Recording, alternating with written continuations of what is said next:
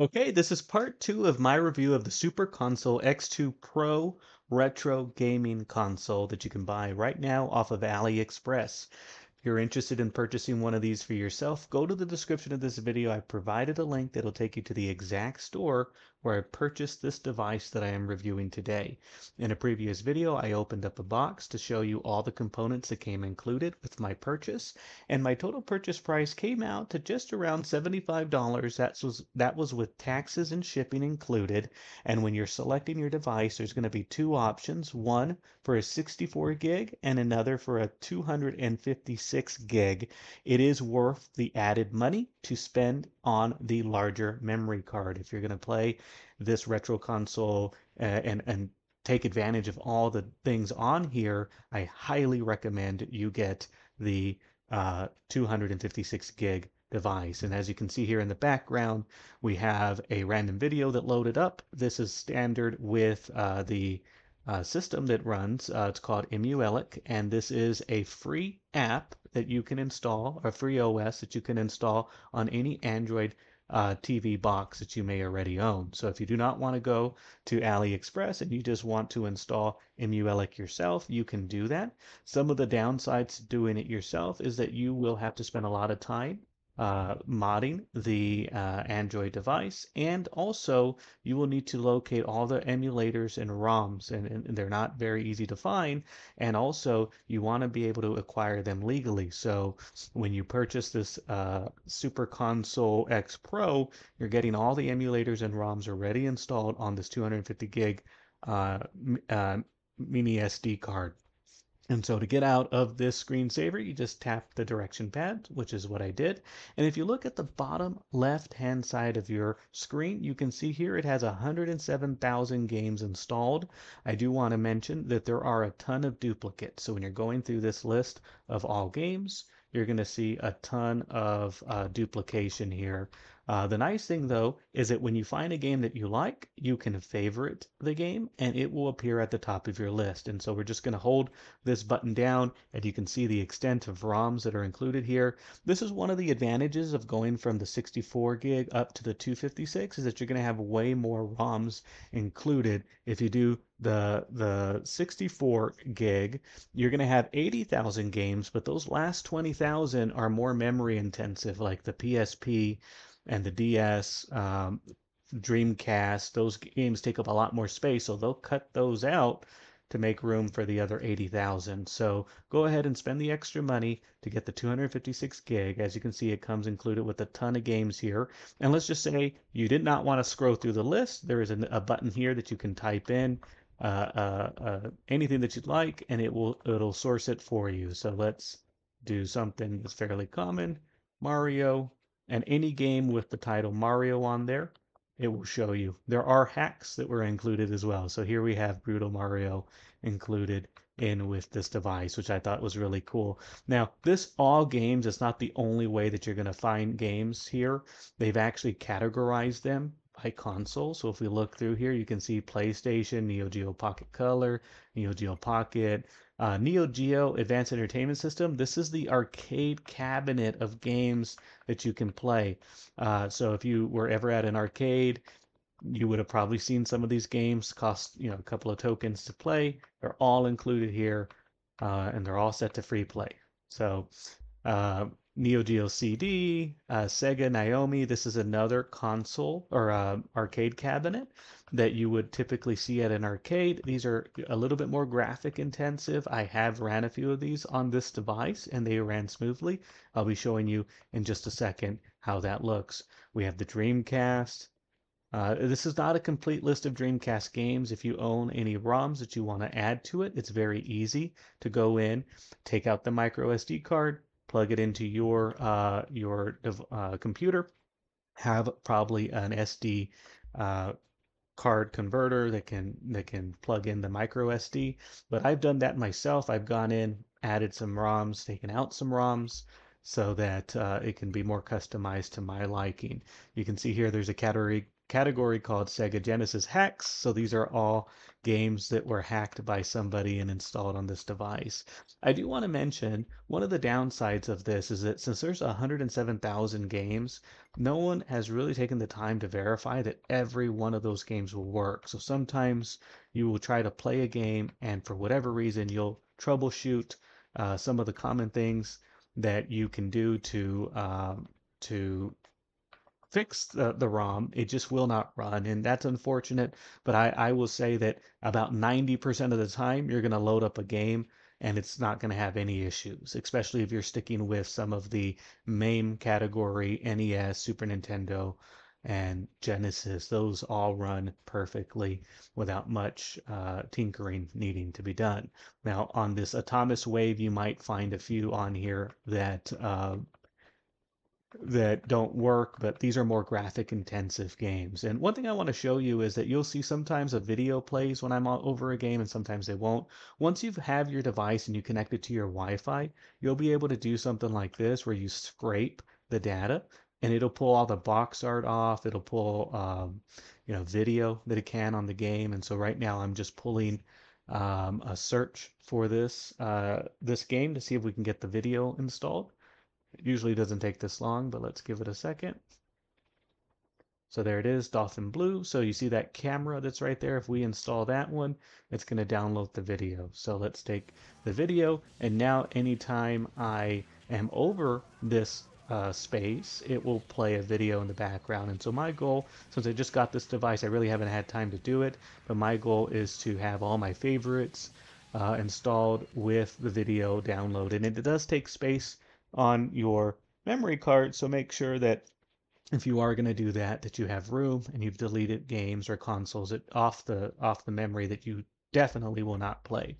Uh, another thing I want to point out is that as I'm scrolling through these consoles, I have removed some consoles that I personally will not be playing. So to see all the consoles, all you have to do is go to Game Collection Settings, and here I have 53 consoles selected, but you can see I've unselected some of these. And so like I have no plans of playing any of these Ataris, uh, uh, ColecoVision, any of these other ones and television. Uh, now, one of the things is one of the reasons why I took them off is if you are uh, trying to play it, it does use a specialized controller, and typically, uh, just so your standard USB controller is not going to be able to run some of these systems, and so you have to find the right controller, USB controller, to perfectly play some of those consoles. And then otherwise, I, I just don't want to play some of these really old games when you know I have access to pretty much all of the late 80s and 90s of video games to choose from. I'm not going to focus in on the on the 70s, unfortunately. Um, one other cool thing that I did is uh, I deleted probably most of the PSP games that are on here. It's just not, I don't see myself playing the PSP games, so I found myself with a lot of space on this 256 gigs. I just took some videos of of The Simpsons and so here you have all the Treehouse of Horrors. I just put them all in here and I can run them on this device. And so what's cool about this is when I'm done with this uh, emulator or this um, retro console, I'm actually plugging it in to an arcade cabinet that I've modified to allow access to uh, to to, ha- to house this. And so I've taken one of your one-up machines that you find at Walmart or Best Buy. I took out the components on the inside, and I'm going to be plugging in this device to the uh, LCD screen that's included with the one-up machine, and then I've swapped out the controllers to add in more buttons, and I've wired them into a USB uh, port that I'm going to be plugging into uh, this retro controller. So maybe I'll do a third video showing you the finalized product. Um, I also have music downloaded that I've put in and installed onto this device. You got to own the music, but I've put it into uh, BGM folders. So typically when I'm scrolling through these games, it will be playing my customized list of music and it's usually high energy music. And so I am very satisfied with this device. I do want to show you this game in action. So what we're going to do here is we're going to go to uh, favorites. And what I did is I've put together a list of games that I want to show you today. But at the same time, I do want to mention that if you favorite a game from any of these categories, they will appear here under favorites. And even though I hid some of those games, uh, those consoles off the screen, you can go to all games and see every game that's installed. So you you you will not have to worry that uh, some are missing. And uh, so let's go down here to favorites. And the first game I want to show you, one of the reasons why I purchased this is that I'm pl plugging it into a arcade cabinet, so I plan on playing all the beat 'em ups. So let's load up X-Men, show you this in action. And I have had the ability to play some of these games on here. I will tell you personally that I don't see any delay, any um, any issues running these uh, these uh, games off of the the MAME emulator. So we're gonna let it bo boot up. I'm going to put in some credits and I'm going to show you a clip of playing it. Um, so let's go with Nightcrawler. And as you can see here, the game's loading up. And here we go. And so I'm using my own PC controller, USB controller that I like. Uh, I did not use the included controllers because one, it requires batteries, uh, but two, uh, they do feel flimsy and they don't have the triggers on the bottom. And so some games you may want to have the ability to squeeze a trigger, whereas as uh, the controllers that were included, uh, they did not have that. They were they were simple analog or just simple uh, push button shoulder buttons. They, it felt like a PS1 controller. and so as you can see, X-Men is running pretty good. I'm not really focusing on what I'm doing though, because I am talking to you. So let's exit out of this game. This is not meant to be an EmuELEC review, so if you are wondering how to do some of these things, all you have to do is go to some tutorials. Now, the cool thing is, is they installed some tutorials in this uh, console, so you do not have to look very hard if you're wondering how to run EmuELEC and some of the techniques to get in and out of games. Uh, it's very easy. Push two buttons. You're going to have a specialized button that is basically like your command button, and then you can push that and, and, and another button that's going to help you do things like raise the sound, lower the sound very quickly, quick save, uh, quick load. Um, and so we're putting in some credits into The Simpsons. You can see here you can pick a character. Now, one thing that I learned the hard way with The Simpsons, and this is common with most arcade games, is that if you put it on the four player mode, you're not going to be able to pick your character. And think about it when you went to an arcade, or maybe you've never done uh, a, a, played a, a retro arcade, but when you put your quarter in, it told you like you are Bart, and and if you moved over to the left a little bit, you would be Homer, or if you moved over to the right, you would be Lisa. And so, even though you're not uh, you're not um, going to be um, playing on an arcade cabinet, the game does remember that. And I don't remember this arc, this bomb there.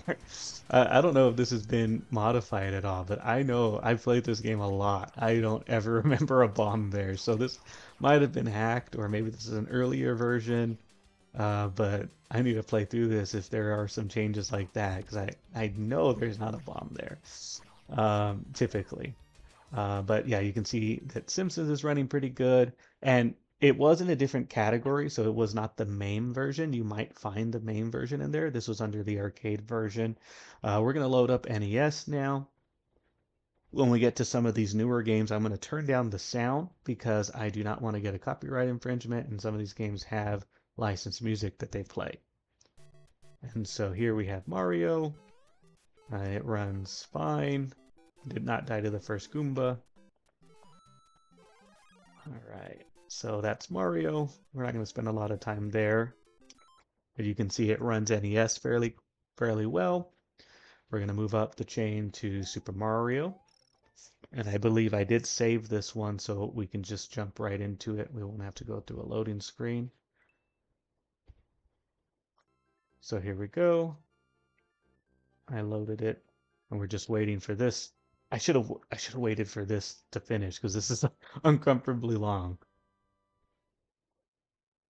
And we can raise the sound if you want to hear it.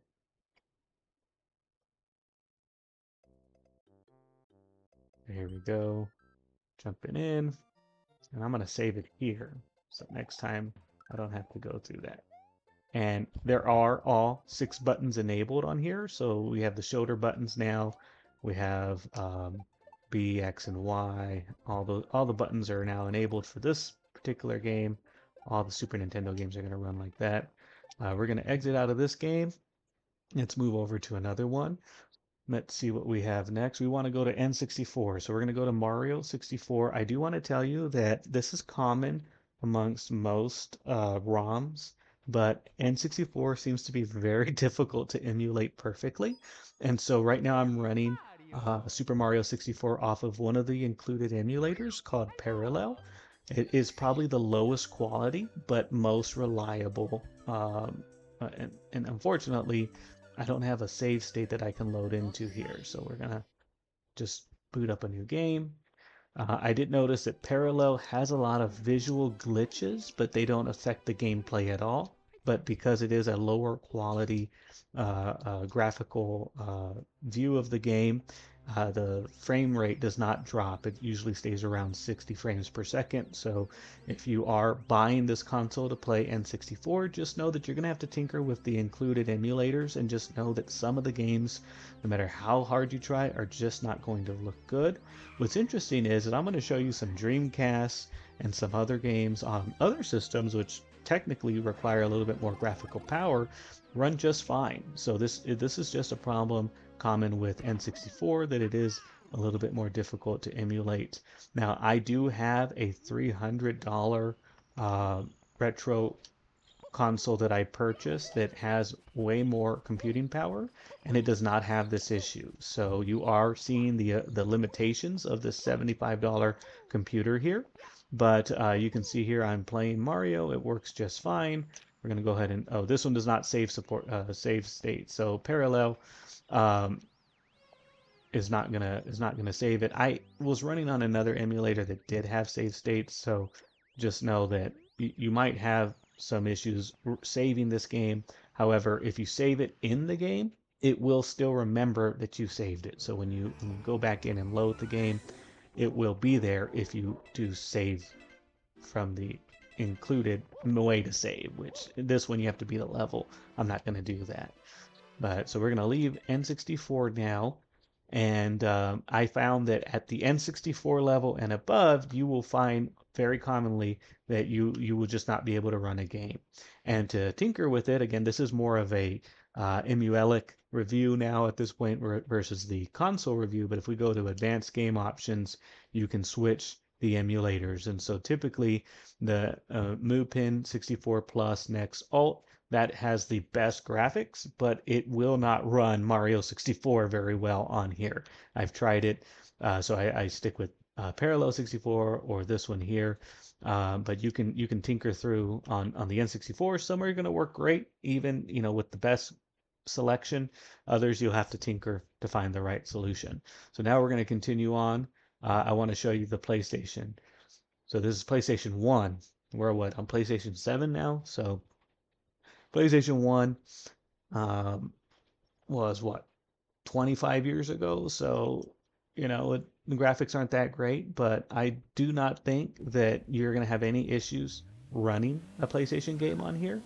Uh, not like the N64. So the N64, you know, hit or miss on some of these games, but uh, on the PlayStation, uh, you're going to be able to run just about every ROM in the PlayStation category, and it is quite extensive. And remember, if there is a ROM that's missing, it's very easy to go in and add the ROM. If you have this connected to your Wi-Fi, you can plug into the network and add and delete ROMs that way, or you can simply take out the micro SD and plug it into your control, uh, computer and install the ROM that way. But you can see here, I'm running Gran Turismo. Uh, we're going to exit out of this. Oh, one thing on the Gran Turismo, it was the the European copy, so there was no English uh, in, in, there. It was like Spanish, German, Russian, but there was no English.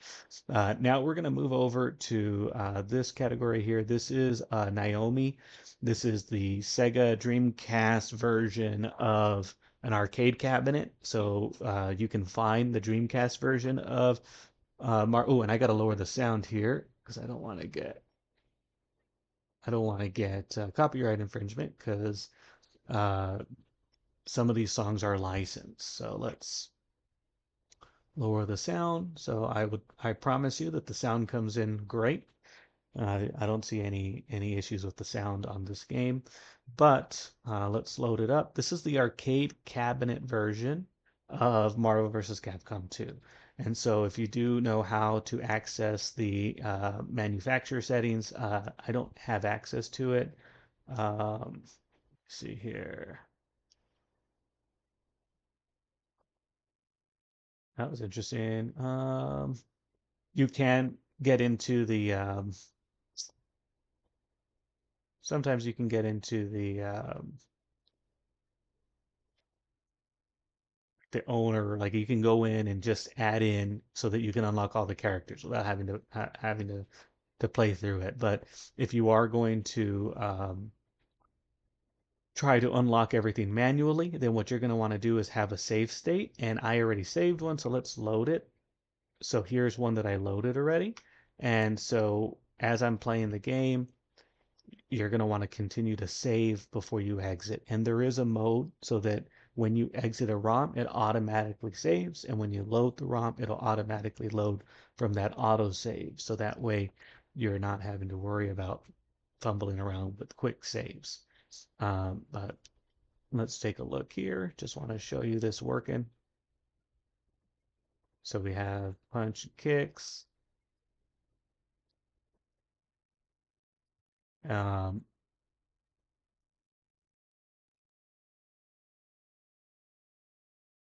and one thing that I, I, will say is that you will need to tinker with a lot of these fighting games with the button mapping. And it's not not necessarily an easy thing to do, but you can mess with the uh, the button mapping.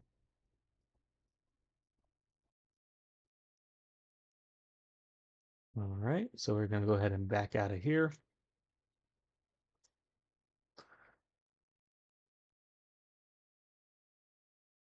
So that was running off of Naomi.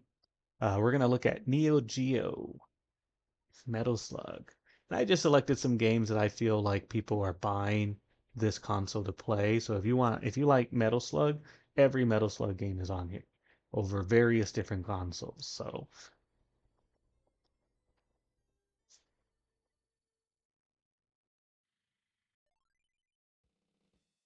and it's so cool to go back and beat these games because like I remember going to the arcade spending like ten dollars and not even getting halfway through a game or like you would you would spend a dollar on a game and you're like yeah i could keep putting in credits in here or i could go play something else and so you would just play the same first two levels over and over again because that's usually when you would you would start losing. So being able to come back to these old games and not worry that you just got a cheap shot by this guy right here i'm gonna knife you. All right get over here get over here i'm gonna knife you ah oh, come on there you are you get real close to them, you'll knife them. There you go. Knifing everybody now. Okay, so anyways, that's Metal Slug. Let's get out of here. And let's try PSP. This is probably the most graphically, well, between PSP and Dreamcast, they're, they're going to be some, some of the higher graphical uh, hard, uh, requirements needed to play. Um, I did quick save this one, so let's see if we can just load it. We're gonna load the save state. Oh, I didn't do it right.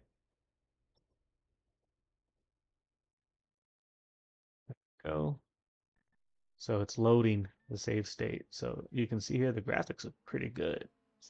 Uh, PSP games look really good, although I am not going to be able to play these on my retro console because uh, you, I don't. I'm just going to have a joystick and six buttons. I'm not going to have a, an analog stick to to use some of these games, and so you, some of them will require the D-pad. Like this one will require the D-pad.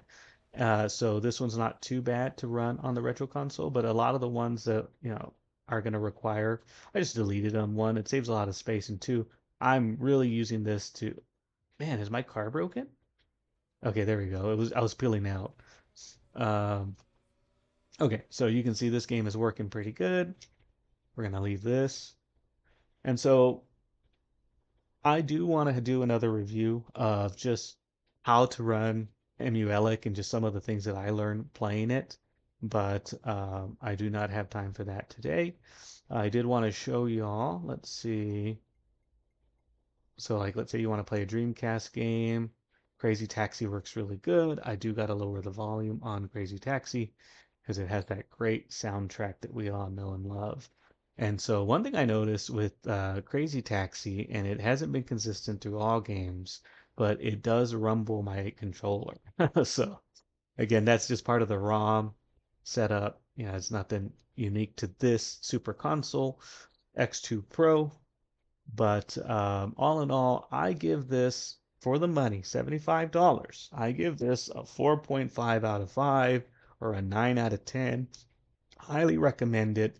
This is um, something that you can give to to to as a gift. I think anyone will cherish it because if you're a young kid, you know, 14 to 20, to be able to go back and play some of these games uh, that are just hard to find is going to be eye-opening, you know, for for for for a younger generation, and also for older generation, you know, 30s, 40s, like myself, uh, being able to go back to these games in your childhood and play them and have an experience that's very similar to what you would expect to to find if you were to buy.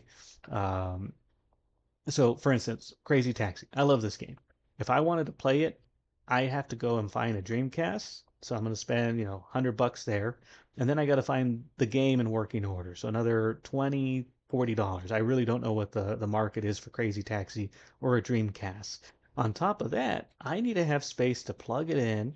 I need to find, you know, you know the TV that can you know run it because sometimes some of these consoles run off of the the old red yellow white cables versus the HDMI cables so you need an adapter.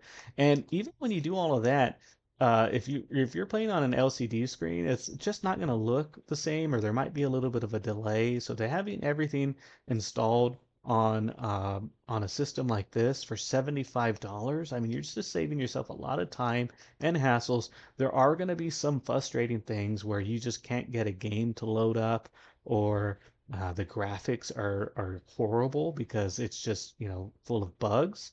I would say that that is maybe 10% of the time you're going to encounter that and that is not a limitation of the super console X2 Pro, this is a limitation of all emulators and ROMs. And these are things that are constantly being updated and improved upon to try to get the best uh, emulation available out of these older games. And so one cool thing is, is that you can connect this to Wi-Fi. You can update it. So right now it runs 4.5 uh, the version of EmuELEC of 4.5. I think they're on 4.6 right now, so it's a fairly recent one.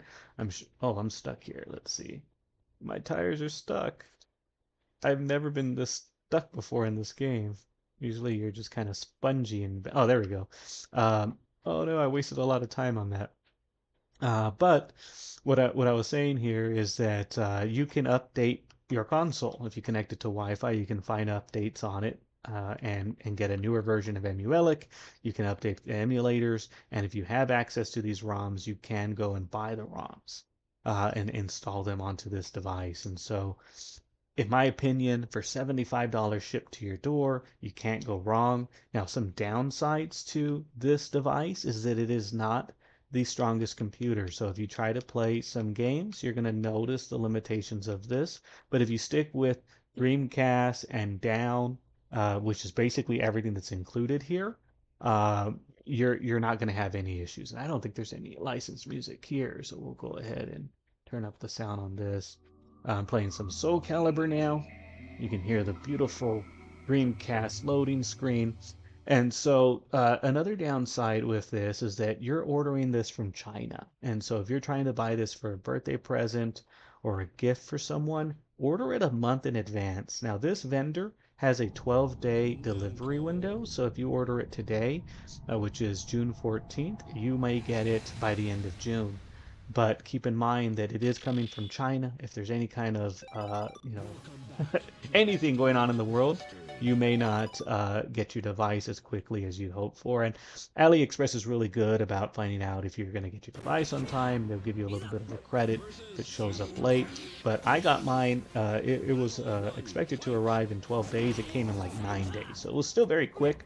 But it's not Amazon two-day delivery. There is no way to get it in two days, so don't wait till the last minute to buy this as a gift. As you can see, I just hopped from one game to the next, and it's working perfectly for me. Uh, if you have two controllers, you can plug them both in.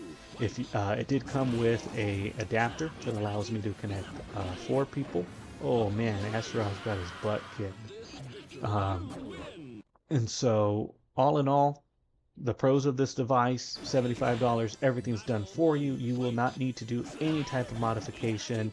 Uh, there is something that you might encounter that I will show you because you might buy this and then say, oh my god, this YouTuber did not tell me this is an issue. Let me show you. I'm going to see if I can replicate it. Um, but there are going to be some ROMs that you will not be able to run initially.